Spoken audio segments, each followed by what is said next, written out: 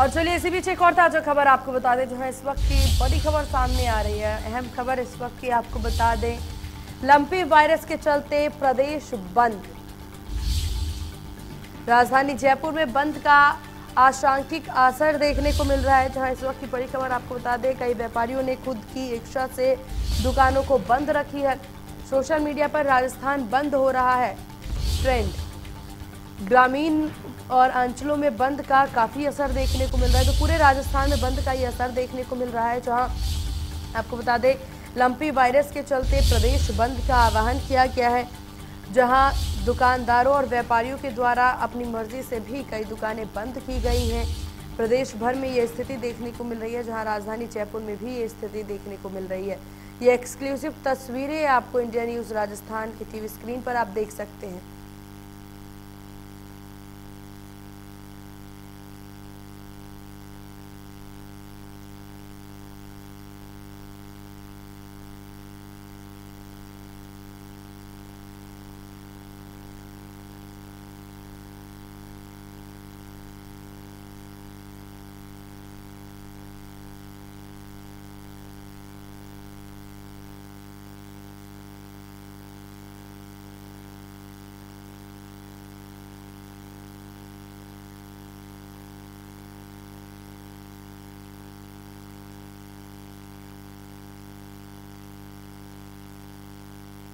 के कहर के चलते आज सोशल मीडिया पर राजस्थान बंद का आह्वान किया गया है। ऐसे में जयपुर के मार्केट में मौजूद है, जहाँ पर बंद का आह्वान आंशिक नज़र आ रहा है। कुछ दुकानें खुली है तो कुछ दुकानें बंद। इस समय में एम आई मार्केट में मौजूद है, जहाँ पर आप देख सकते हैं, दुकानों के ताले जड़े हुए हैं। इस समय तक दुकानें यहाँ पर खुल जाती हैं और लोगों की भीड़ यहाँ पर एक तरह से कहें कि उमड़ जाती है। ये एक तरह से कहें कि बड़ा मार्केट बहुत बड़ा है, जहाँ पर अलग अलग ब्रांड के यहाँ के शोरूम है और यहाँ पर शॉप है, लेकिन कहीं ना कहीं यहाँ पर जो राजस्थान बंद का आज आह्वान विभिन्न संगठनों द्वारा सोशल मीडिया पर किया गया है, उसका थोड़ा सा असर यहाँ पर जयपुर में भी देखने को मिल रहा है। साथ ही राजस्थान के अलग अलग ग्रामीण अंचलों की बात की जाए तहसील स्तर पर बात की जाए, वहाँ पर भी लोगों ने खुद के मन से एक तरह से कहें कि इस कथित महामारी के चलते दुकानें बंद की हैं और अपने व्यापार को एक दिन के लिए विरोध स्वरूप ठप रखा है। इस वजह से कि सरकार की आँख खुले, क्योंकि अब तक इस कोरोना जैसी महामारी लंपी वायरस की महामारी को कहा जा रहा है, लेकिन उसके चलते सरकार की आँख अभी भी नहीं खुली है। व्यापक इंतज़ाम नहीं किया गया है, जिसके चलते हज़ारों गाय काल के ग्रास में समा चुकी हैं, वहीं लाखों गाय संक्रमित है। कैमरा सहयोगी निर्मल के साथ विशाल शर्मा, इंडिया न्यूज़।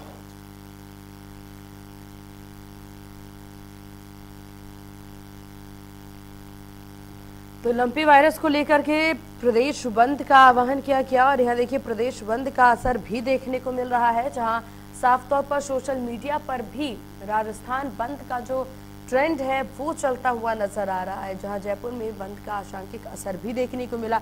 ग्रामीण अंचल में भी इस बंद का असर देखने को मिल रहा है। चारों तरफ़ राजस्थान बंद का यह आह्वान जो किया गया है, वो काफ़ी ज़्यादा ट्रेंडिंग होता नज़र आ रहा है। लंपी वायरस को लेकर के बंद का आह्वान किया गया है, जिस प्रकार से प्रदेश में लंपी वायरस का कहर देखने को मिल रहा है जानवरों पे। वो काफ़ी ज़्यादा परेशान कर देने वाली बात है, क्योंकि यहाँ पर जिस प्रकार से गौवंशों की मृत्यु हो रही है, इस लंपी वायरस की वजह से लंपी वायरस के चपेट में आने से, कई गौवंश जो हैं, वो इसकी चपेट में आने से उनकी मृत्यु हो गई है, जिससे किसान खासा परेशान इस वक्त नज़र आ रहे हैं। कई व्यापारियों ने भी इस चीज़ को लेकर के अपनी इच्छा के अनुसार दुकान बंद करके रखा है। तो सोशल मीडिया पर भी अब राजस्थान बंद जो है, वो ट्रेंड होता नज़र आ रहा है। और इसी विषय पर तमाम जानकारी अपडेट के साथ हमारे संवाददाता विशाल शर्मा जयपुर से सीधा हमारे साथ जुड़ गए विशाल, किस तरह की तस्वीरें, किस तरह के दृश्य जयपुर में देखने को मिल रहा है इस वक्त बंद को लेकर के? देखिए, धरती पर किस कदर काल उमड़ा है कि जब पहले कोरोना महामारी ने इंसानों को परेशान किया और मौत के ग्रास में समाया है, लेकिन उसके बाद अब पशुओं के लिए जिस तरह से लंपी वायरस, जो कि अभी तक महामारी घोषित नहीं की गई है, लेकिन हालात महामारी से कहीं भयंकर है, भयावह है। क्योंकि राजस्थान की तस्वीरें बहुत ही डराने वाली हैं। लाखों गाय संक्रमित हो चुकी हैं और हज़ारों गाय को मौत हो चुकी है।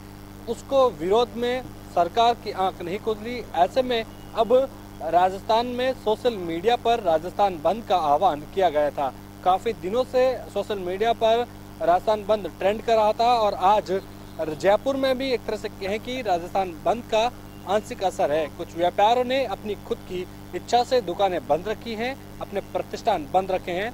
वहीं ग्रामीण अंचलों की बात की जाए तो राजस्थान के अलग अलग हिस्सों में वहाँ पर ज़्यादा असर देखने को मिल रहा है, जहाँ पर दुकानें व्यापारियों ने बंद रखी हैं और दूसरी जगह जो अपने लोग जो रोज़मर्रा के काम धंधों पर जाते हैं, वो भी आज नहीं जा रहे हैं।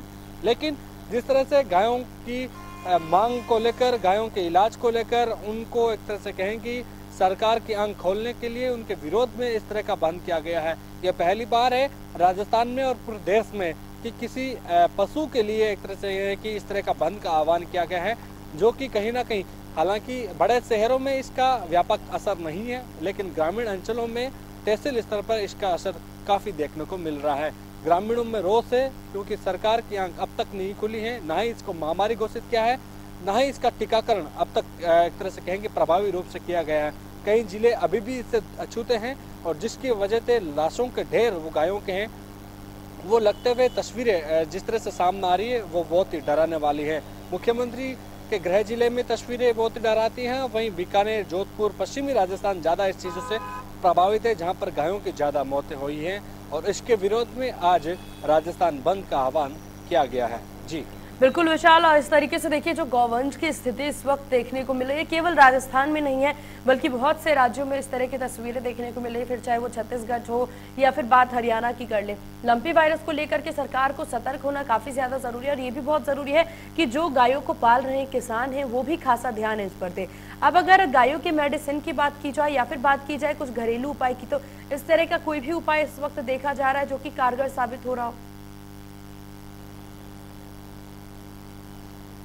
देखिए, गौशालाओं में और जो जहाँ पर घरों में जो पालन कर रहे हैं गायों का, वहाँ पर वो अपने, एक तरह से कहें कि अपने स्तर पर, हल्दी से, आटे से और जो भी चीज़ें हैं मेडिसिन से, वो अपने एक तरह से कहें कि गायों को दे रहे हैं, जिनमें लंबे लक्षण दिखाई देते हैं, हल्का बुखार और फोड़े फुंसी दिखाई देते हैं, उनका इलाज शुरू कर दिया जाता है। लेकिन कहीं ना कहीं जब हालात बेकाबू हो जाते हैं, उसके बाद उसको गौशाला भेज दिए जाते हैं और जहाँ पर जो अलग अलग जगहों पर एक तरह से कहें कि क्वारंटाइन सेंटर बना रखे हैं, वहाँ पर गायों को रखे जाते हैं, लेकिन वहाँ पर भी तस्वीरें बहुत ही डरावनी हैं।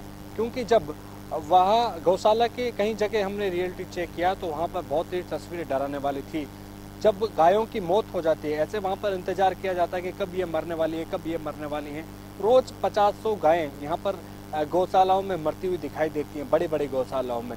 लेकिन जिन घरों में गायें जो एक तरह से कहें कि माँ के हिसाब से पूजा करते हैं उसको वहाँ पर पालन पोषण करते हैं मैं मानता हूँ मेरी नज़र में सौ में से पचास घरों में गायों की मौतें हो चुकी हैं चाहे मेरे घर की बात करूँ चाहे दूसरे घरों की बात करूँ सब जगह अभी हालात हैं वो बहुत ही डरावने हैं लेकिन अब तक सरकार के नुमाइंदे कोई भी जो बताते हैं कि आंकड़ों में इतने गायों की मौत हो चुकी है पचास हज़ार गायों की मौत हो चुकी है इतने हम्म। गाय संक्रमित कोरे कागज़ी एक तरह से कहें कि आंकड़े हैं जमीनी हकीकत धरातल पर एक भी सरकारी नुमाइंदा आंकड़ों की परखने के लिए किसी घर कर कोई रियलिटी चेक नहीं किया गया।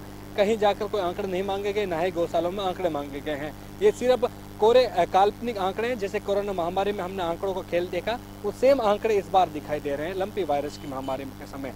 लेकिन सबसे बड़ी चीज़ है कि जो खुद गोपालन मंत्री यहाँ पर प्रमोद जैन बाया है, वो खुद एक भी गौशाला में अब तक नहीं गए हैं। हालाँकि मुख्यमंत्री अशोक गहलोत ने आज फिर सोशल मीडिया के ज़रिए इस तरह की अपील की है। लंपी वायरस के चलते, लेकिन कहीं ना कहीं वो भी धरातल पर किसी भी गौशाला में नहीं गए हैं। और ना ही इस, हालाँकि जब कह रहे कि लंपी वायरस की महामारी घोषित करने के लिए प्रधानमंत्री नरेंद्र मोदी को पत्र लिखा है, लेकिन जितनी राज्य सरकार जिम्मेदार है, उतनी उतनी केंद्र सरकार भी जिम्मेदार है, क्योंकि जब दो महीने बीत चुके हैं कि जिस तरह से ये महामारी लगातार फैल रही है राज्य दर राज्य सिर्फ़ राजस्थान ही नहीं दूसरे राज्य जैसे कि आपने ज़िक्र किया वहाँ पर भी इस तरह की महामारी लगातार फैल रही है लेकिन सरकार है वो भी पता नहीं कौन सी नींद में सो रही है किन का इंतज़ार कर रही है और कितनी मौतों को इंतज़ार कर रही है। यहाँ पर लाशों के ढेर लगे हैं लेकिन फिर भी एक भी नेताओं की राजनेताओं की किसी भी पार्टी की नेताओं की आँख नहीं खुल रही। किसी की सरकार एक तरह से कहें कि आँख मूद कर बैठी हुई है। जी। बिल्कुल, और इस तरह की तस्वीरें जो हैं, वो लगातार सामने आ रही है, जो कि काफ़ी चिंताजनक है तस्वीरें। अब देखने वाली बात होगी विशाल कि इस बंद के बाद किस तरह की दृश्य देखने को मिलता है, क्या कुछ बदलाव होता है, या फिर स्थिति जस की तस होती है। आपका बहुत शुक्रिया तमाम जानकारी साझा करने के लिए, और नज़र बनाए रखेगा और भी अपडेट इस पर लेते रहेंगे आपसे। और इसी के साथ इस बुलेटिन में बस इतना ही। बने रहिए इंडिया न्यूज़ राजस्थान के साथ। नमस्कार।